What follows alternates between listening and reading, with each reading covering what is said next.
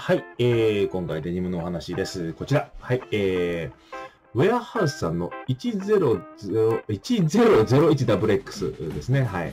これはね、2012年に買ってると思います。はい。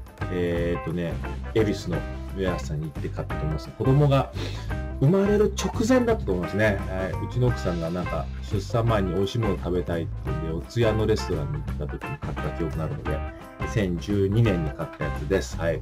えー、今年ね、あの、デニムシャツと、えー、ファーストの G ジャンも、これ、これはね、あの、フルバンクさんですけど、えー、買ったんだけど、それあんまり着てなくて これをばっか入ってました、当時ね。はい。で、それまでは私、えっ、ー、と、フルカウントさんの、えー、デニムをずっと愛用してて、他になんかいいのないかなと思って、いろいろ雑誌とかネットとかを探し始めて、えー、ウェアハウスさんの情報がやたら目に入ってきてですね、えー、すごくいいということで、へーと思って。で、90、調べると、えー、90年代の後半はもう存在してたブランドさんなんですけども、私が、これもね、何回か話したと思うんですけども、レプリカジーンズを最初に買ったのが、え、ー、と、マッコイえリアルマッコイの G デニムで、次がフルカントさんなんですけど、その時にね、ウェアハウスさんのやつってね、あったとは思うんですけど、あんまりそのなんですよ、こう、情報がなかったんですよね。うん。で、そこからもう、20年ぐらい、月日が流れて、えー、いろいろこう情報があったり、ウェアハウスさん自体もこうアップデートされたりしてね、もう非常に素晴らしいものを今では作り続けてると思うんですけども、で私も今、DD シリーズのね、ダックディガーシリーズの1944年モデルをちょっと今年、えー、2020年に買わせていただいて、まだちょっとそれは育ってないないんですけど、こっちのね、古川さんの G01 の新しいタイプ育ててる来年そっちを入って育てようかなと思います。はい。で、それは以前に、えー、これを買ってました。はい。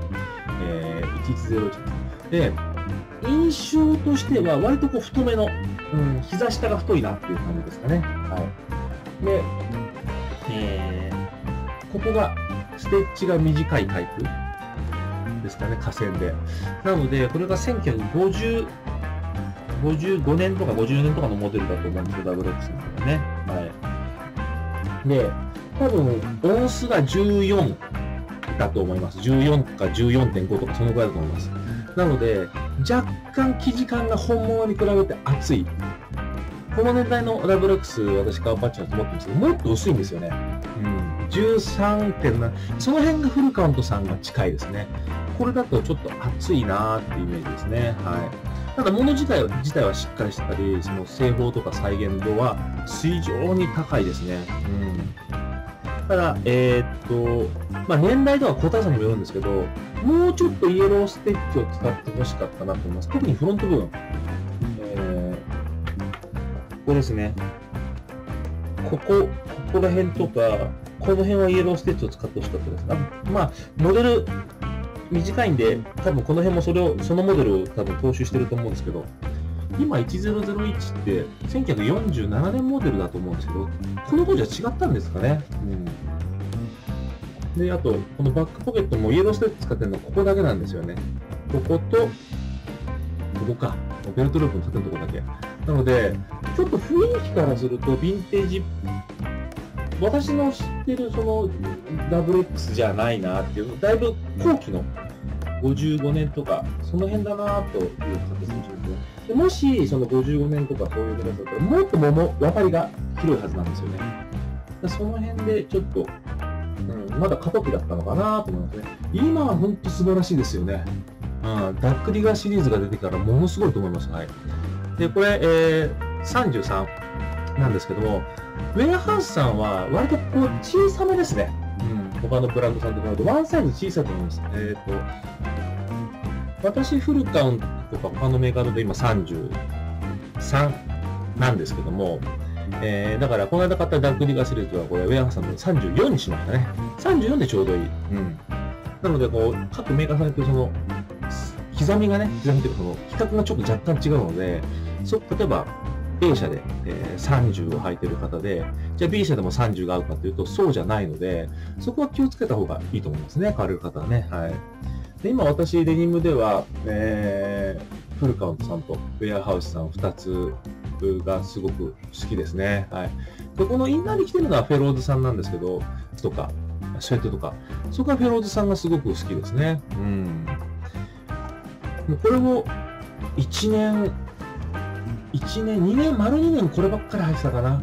うん、なえっ、と、夏の暑い時は履いてないですけども、涼しくなってきたら。で、だから結構、2年ぐらいで、結構色落ちしたなーって感じします。ただね、あんまり私好みの色落ちは、私はヒゲとかね、結構入ったんですけども、あんまり縦落ちしないなーっていうイメージですね。当たりも出てたりして綺麗なんですけど、チャとかはほぼほぼ少し入ってますけどね。うん。はい。この当時2000、まあ、18年ぐらい前だと、まだ、ウェハーさんの途上なのかな。うん、でもかなりその、他に色落ちしてるやつを雑誌とかで見てたんですけども、でもまあこんな感じでしたね。うん。で、正直当時は、え、これだったら、あの、フルカウントさんの方が上じゃね？っていうふうに思ったんです、正直。はい。だけど、こう、買ってみて、あのお店とか実際ベースの店舗とか行ってみると、雰囲気はすっごい良かったですよね。うん。あだから、今もうものすごいですけど、25周年でいろんなアイテム出してますけど、今度ね、30周年とか、35周年、40周年とか、すっごい楽しみですね。うん。日本の、あの、レプリカジーンズの引っ張ってきたね、えー、いろんなブランドさんが、本当に、今でもね、本当にずっと第一線で、えー、輝き続けているのは素晴らしいことだと思うので、えー、一ファンとしてね、応援し続けたいと思います。はい。えー、一応、え、概要欄の方に、え現行ね、1001-WX のリンク貼っておきますので、えー、ご興味のある方はね、ぜひご覧になってみてください。はい。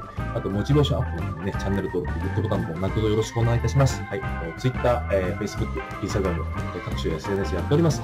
概要欄の方にリンク貼っておきますので、お気軽にフォローいただければと思います。はい。えー、今回はデニムのお話、えー、ウェアハさんの 1001WX のお話でした。ご視聴いただき、ありがとうございました。